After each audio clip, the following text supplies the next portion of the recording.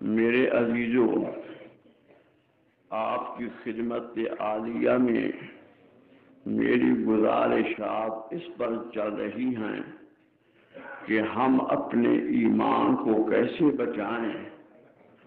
ईमान हमारा जिसके बगैर आखत नहीं है, न ख़त्म होने वाली ज़िंदगी। बुज़ुर्ग फरमाते हैं, इस ज़मीन व आसमान के दरमियान खुदा तबारक व ताला राय के दानों से भर दे और इस कदर भर दे के आसमान तक चले जाएँ और एक परिंदे को हुक्म हो कि एक दाना सिर्फ़ इसका उठाए लाख साल के बाद ये सारा खत्म हो जाएगा।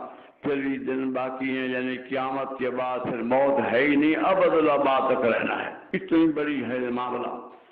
अब मेरी अर्ज़ ये है। हम लोग अपने अपने दीन के अंदर ये न समझे दीन समझे। अपने नफ्स के पीछे न चले कि मेरे नफ्स क्या कह रहा है। दीन समझे दीन क्या फरमा रहा है।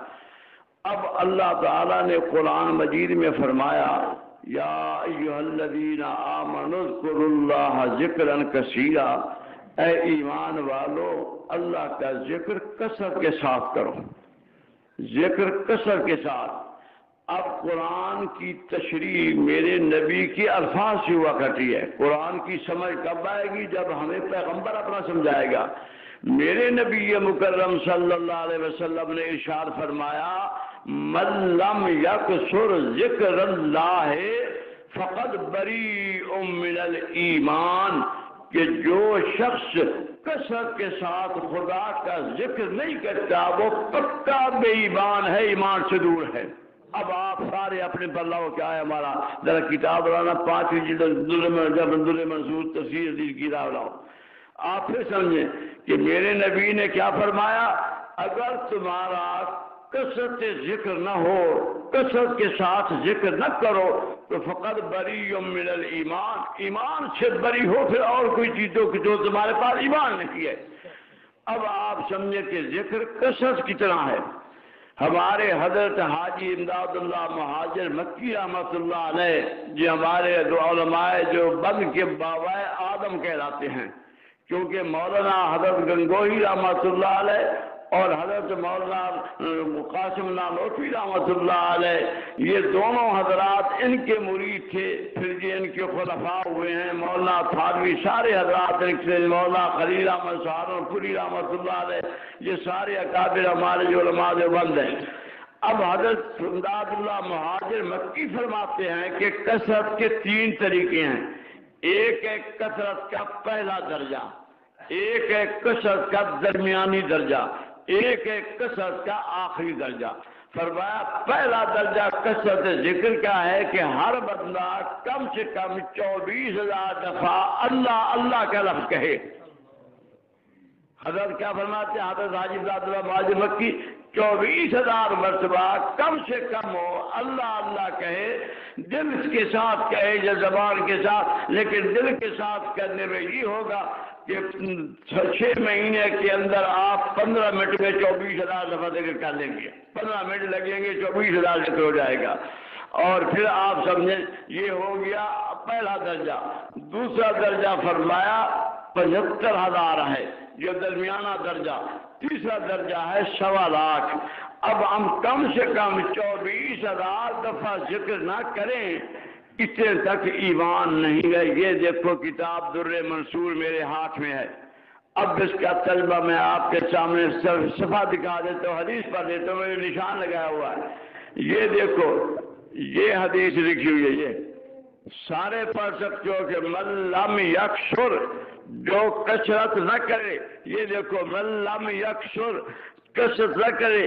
ज़िक्र अल्लाह ताला की ज़िक्र की, फ़कत बरी मिनल ये बरी मिनल ईमान ईमान से बरी है। उसका ईमान के साथ कोई वास्ता नहीं।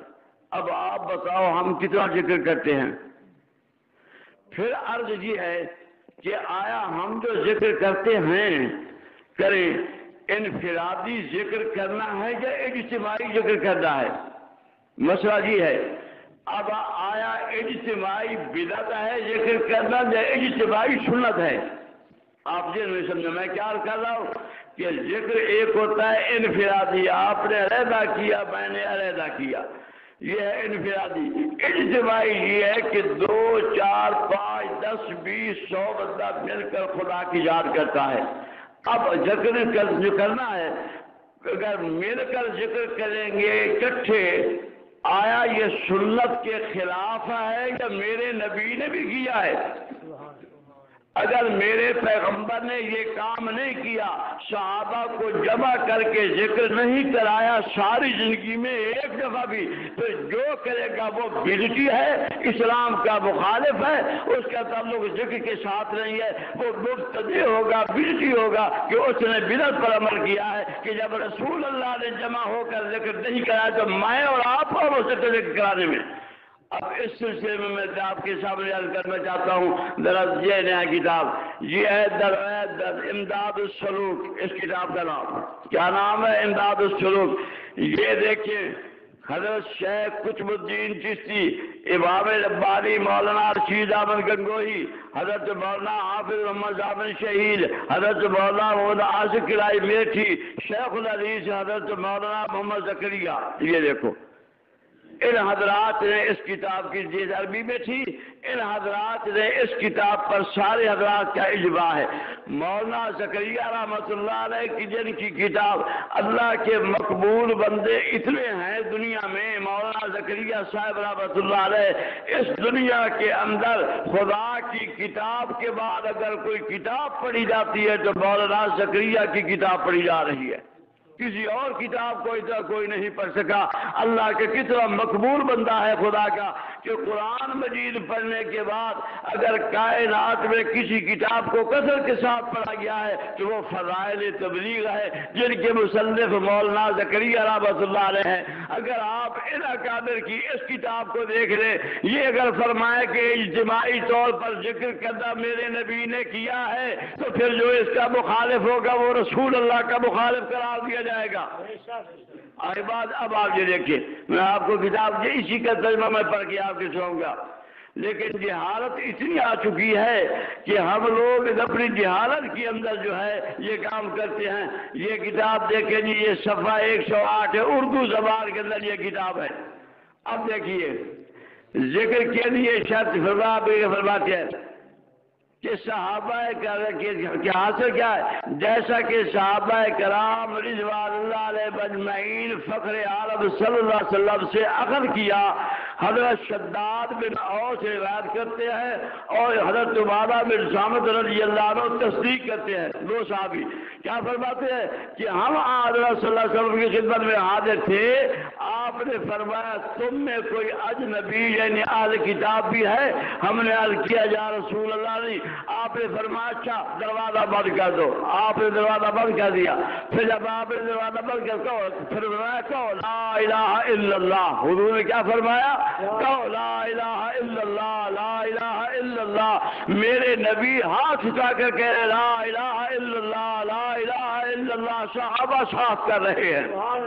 इबादत में सहाबा साथ कर रहे हैं यहाँ तक कि काफ़ी देर हुजूर ने ज़िक्र करा के एक साथ यानी कम से कम एक घंटा आपने ज़िक्र कराया उसके बाद अपना हाथ वाला कपड़ी जगह रख लिया। फरमाया अल्लाह तेरा शुक्र है कि तूने इस कलमा के साथ मुझको मबूस फरमाया और इस कलमा का हुक्म फरमाया और इस कलमा के कहने पर जनर के वादा फरमाया। तू अपने वादे के हर के खिलाफ नहीं करेगा। मेरे नबी ने मिलकर ज़िक्र किया और सहाबा से कराया। अगर मिलकर ज़िक्र करना बिरत कहोगे तो रसूल अल्लाह को क्या कहोगे फिर? मिट्टी का अल्फाज के साथ पर आएगा? अगर एतमाद नहीं तो मौलाना गंगोही और मौलाना नावरती और वो शेख रदीज मौला जकरिया कोई साहब से फिर निकाल दो। ये मिट्टियों को पैदा करने वाले लोग हैं।